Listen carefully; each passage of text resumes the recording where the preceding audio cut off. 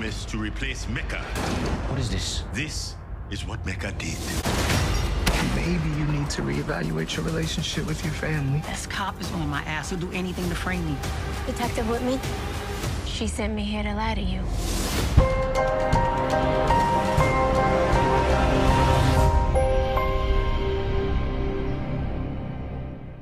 What's up, YouTube?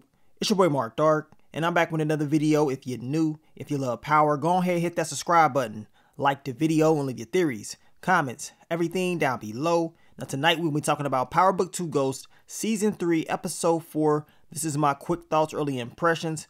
So down below, I want you guys to give me your quick thoughts, early impressions on this episode. And it's heating up, y'all. It's getting real crazy, man. And you can tell that Episode 5 it's about to be a banger. I cannot wait to see what's going to go down. It ain't looking too good for your boy Lorenzo. Monet finds out about Lorenzo being at the crime scene of Zeke, and now she understands that he may have taken out Zeke his damn self and he lied to her this entire time. But we know his days are numbered. Whether Monet gets him or somebody else, Lorenzo was not making it. And from the looks of it, and y'all know how episode 5 is, he may be gone in next week's episode, we shall see. Now, I told you guys about Cane and Lorenzo as far as Cane starting to feel, you know, kind of sad for his pops. Well, in this episode, we saw exactly why he's going to feel sad because Lorenzo saved his life. And they kind of, you know, squashed whatever issues that they had. Cane tells him, look, I'm sorry for treating you like that. And y'all know Lorenzo, he's all about family and keeping family together no matter what. So, we already know once Lorenzo is up out of here, Cane's going to feel very bad and he is really going to have to step up to the plate as far as, you know, being the leader for this family alongside Dru. Now, my quick thoughts, early impressions on Detective Kevin Whitman. Damn.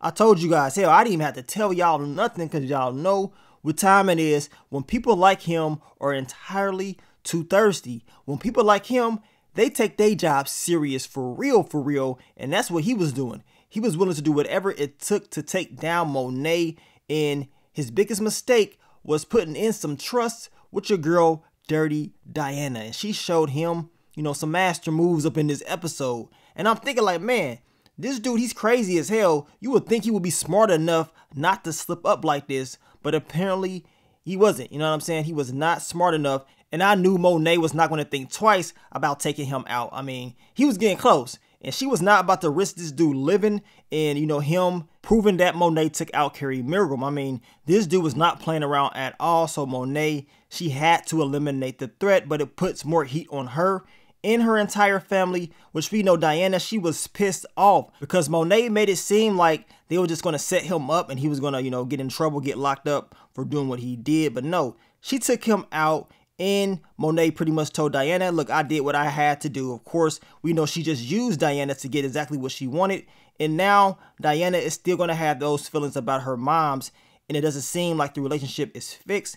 Seems like things probably has gotten worse in my opinion. Now, my quick thoughts, early impressions on Dru, Gordo. We already knew those two. You know what I'm saying? It was going to be, you know, making out, kicking it. As I told you guys, this dude, Dru, his weakness is his love life. He has to focus on what he needs to be doing. But I will say this, luckily, Lorenzo, you know, made sure Dru and Gordo was at that whole deal with those guns because they end up saving the day. But we know it's still somebody breathing, y'all. It's still one of the Proud Boys out there breathing. And he is, of course, working with Blanca Rodriguez. And a lot of you guys was mentioning that Angela's nephew, Junior, he's going to be in this episode. Of course, we saw him in those exclusive pictures. And we saw him in this episode I guess his name is Agent Young or whatever. We haven't seen this guy since Power Season 6 in that pause episode or whatever. But it seems like he wants to, you know, put in some work to help stop the bad guys. That boy want to get payback. He wants to get revenge for what happened to Angie, right? So we're going to see how the story is going to go and how deep they want to, you know, develop his character throughout this series. Now, my quick thoughts, early impressions on your boy Cane and Effie. Now, we know Cane was pretty much telling Effie, he was putting out threats or little small hints or whatever, that he may just tell Tariq about what really happened to Lauren. He understood that Brayden did not get the job done because Brayden, he is too shaky. He, of course, always messes up when it's time to take out somebody, so he knew Brady didn't do it, and it had to be Effie. Effie tells him, don't tell Tariq, I'm gonna, you know, tell him when the time is right. But at the end of the episode, she tells him, look, I still need some more time or whatever. I can't tell him. Please don't let him know. You know what I'm saying? It, basically, she's telling Cane that Tariq is a guy that, you know, is looking out for her and she has these feelings for him. And Cane, you can tell he is really feeling Effie. Now, we knew he liked Effie. I mean, we knew he wanted to clap those cheeks, but we are starting to see more of a connection. Like, okay, I really like this chick for real. I wants to look out for her and I want to be there for her. So it's going to be very interesting to see how this storyline develops as the season continues to air out. And I want to know what's going to happen with Effie and Cane after Tariq and Effie fall out this season. Now, my quick thoughts, early impressions on the whole Cooper Saxe thing. We know he is starting to get a little bit more intel on Jenny Sullivan. We know that Blanca found out about Cooper Saxe being Jenny Sullivan's CI. And of course, she was pissed, and Cooper Saxe was pissed that Jenny was working with uh, Blanca as well. But they got to do what they got to do in order to, you know, make this work.